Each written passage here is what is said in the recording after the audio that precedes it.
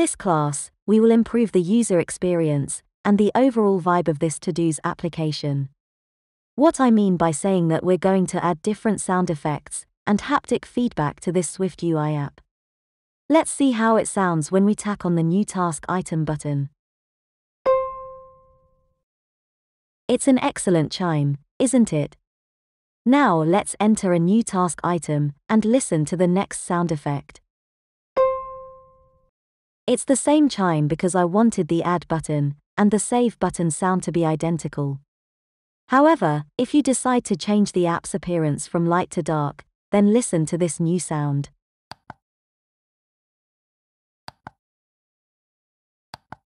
Can you hear the difference? Next. Now let's check out some task items from the to-dos list, shall we?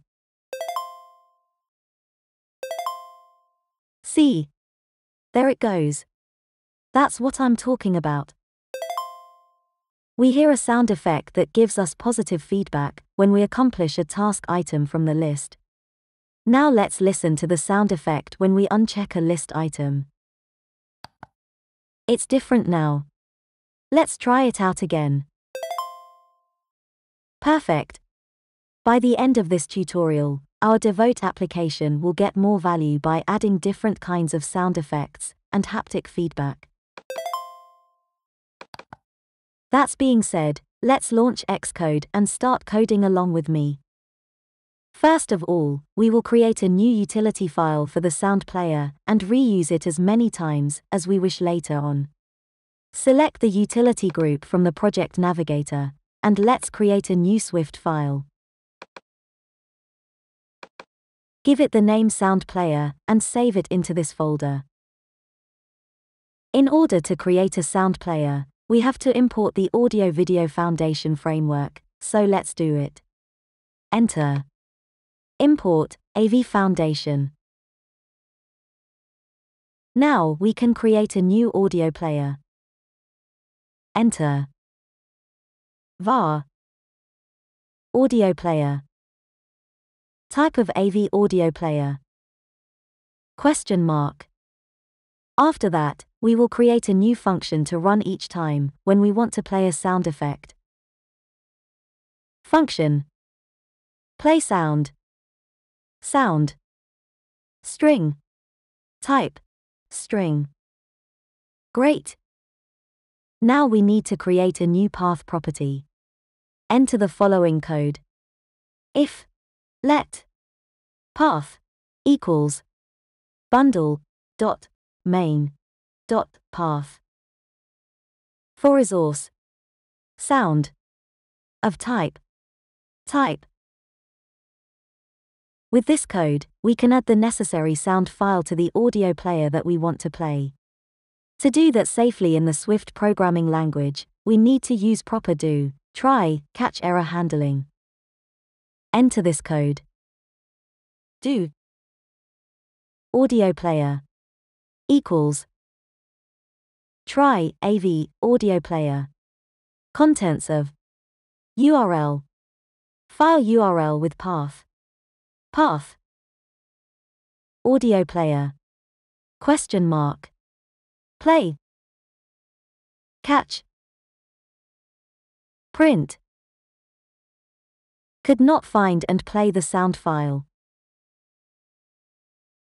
This is one of the best methods to play any selected sound file from the local app bundle. And we will use it all over the place in this lesson. Playing sound files. To play a sound file first, we need to open the content view file. After that, please scroll down to the Appearance button, and let's run our new function. Enter. Play sound. Sound. Sound, tap. Type, MP3. OK, the first sound effect is done. Now we will speed up this process, and more sound effects here and there in this project. Please navigate to the New Task button section, and let's add a new action to it. Enter. Play sound. Sound. Sound, ding. Type, MP3. Great. We're done here.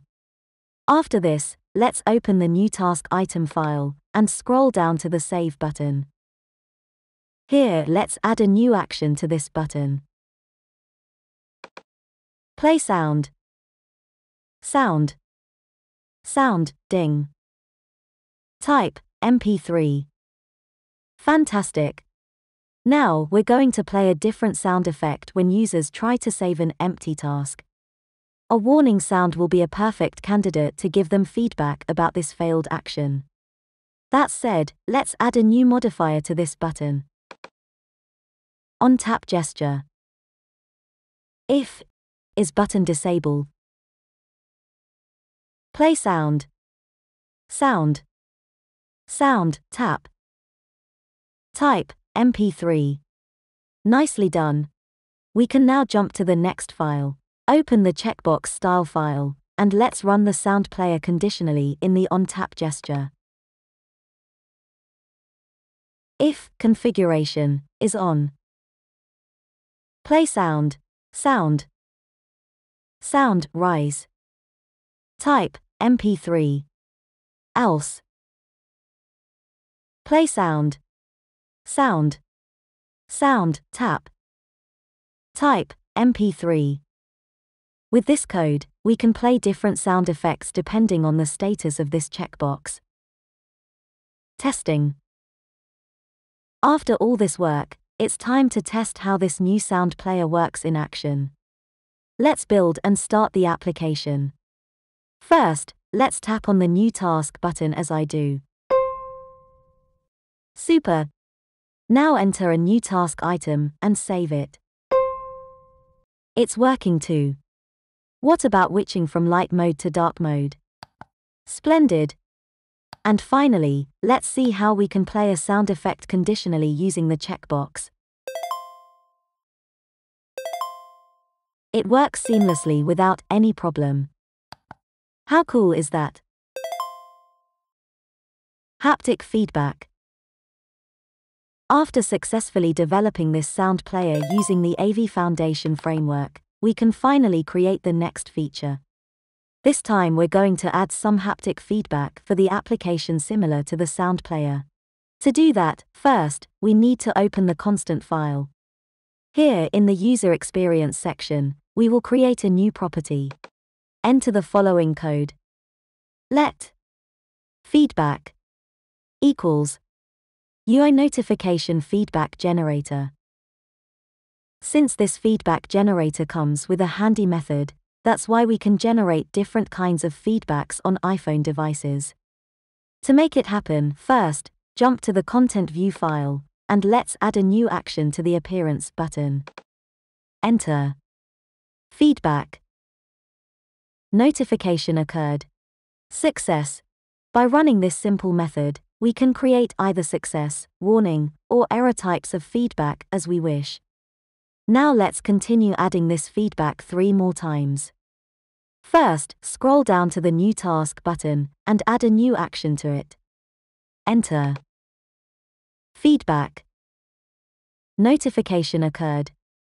Success. Alright. We are done here. Second, we will add new feedback to the Save button as well. Enter. Feedback. Notification occurred. Success. And finally, jump to the checkbox style, and let's add the last feedback to the custom toggle element inside the on-tap gesture modifier, as I show you. Enter. Feedback. Notification occurred. Success. Awesome job. We have just finished adding two new features to this application. Again, Congratulations! Haptics setting. Just one more thing. The only proper way to test how this haptic feedback generator feature works is to try it out on a physical device. Please make sure that the system haptics is enabled in the iPhone settings. To check it out, first, launch the Settings app on your phone. Then open the Sound and Haptics Settings page as I show you. Here, scroll down to the end of the page and make sure the System Haptics feature is enabled. With that, you're all set to test this new feature on your phone. Alright, I hope that you enjoyed this short lesson, and you are eager to watch the final tutorial. In the last lesson, I will introduce you to the new widget API. Are you ready for more awesomeness? I hope so. Having said that, see you at the class.